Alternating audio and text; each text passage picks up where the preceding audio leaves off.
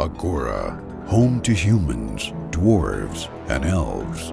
War has not plagued these lands for centuries, but now an ancient enemy of the elves has come across the Great Sea. The destroyer of the elven homeland, the Dark Elf Eadon.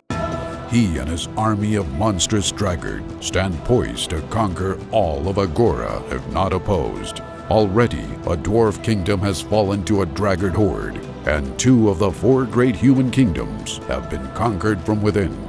During this dark time, fate will task six unlikely companions with a unification of Agora, a dwarf of a fallen mountain, a knight, elf siblings, and two rangers will find themselves at the forefront of the resistance.